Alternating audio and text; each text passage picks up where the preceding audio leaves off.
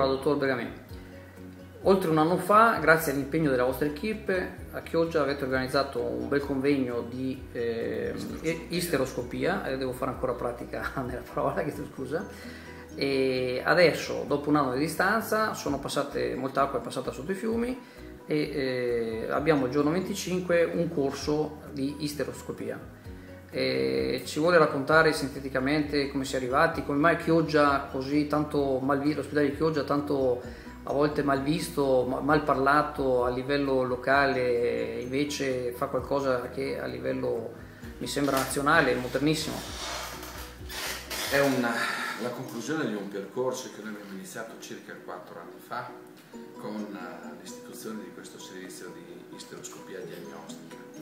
Mano a mano ci siamo attrezzati grazie alla nostra amministrazione che ci ha messo a disposizione tecnologia, una tecnologia all'avanguardia. Eh, l'anno scorso abbiamo fatto il primo congresso con l'Eye Surgery Interventi Chirurgici in diretta, a cui hanno partecipato i nomi più illustri dell'isteroscopia a livello mondiale.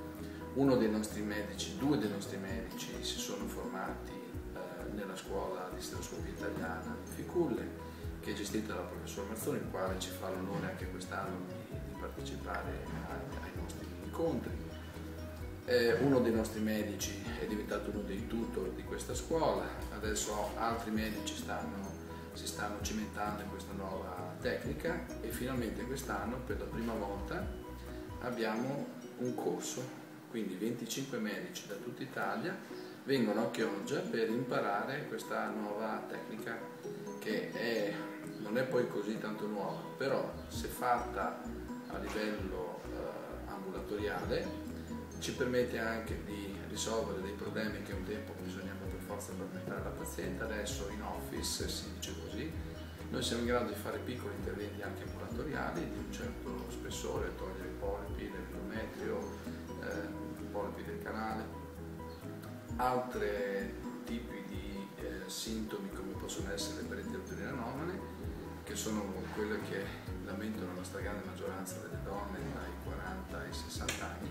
vengono gestite direttamente esclusivamente ambulatoriali, con un minimo di scomfort da svegli, e solamente le pazienti che hanno bisogno di terapia chirurgica vengono portate in sala operatoria in day surgery, quindi in giornata risolvono tutto, si possono fare questi interventi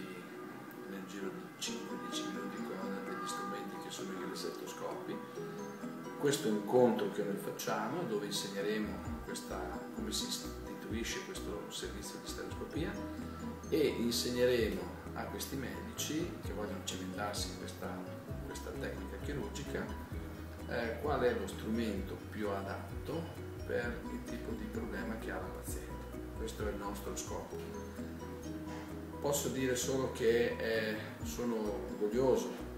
di, di questo incontro che eh, ci permette di mettere la nostra azienda, il nostro reparto all'avanguardia. Quindi mh, è vero che a livello locale tutti gli ospedali vengono un pochettino bistratati, però posso dire con, sempre con maggior orgoglio che eh, la popolazione di Chioggia ha, ha risposto eh, con entusiasmo a questo, tant'è vero che noi abbiamo eh, pochissime fughe per quanto riguarda queste, queste anzi eh, abbiamo aumentato anche gente che vengono dall'alter ASL, eh, possono eseguire questi interventi, li vogliono eseguire qui da noi a Chioggia e questo per me è un motivo di orgoglio e grazie anche ai ragazzi che sono, eh, si sono cimentati e sono diventati eh, veramente dei provetti in questa nuova tecnica.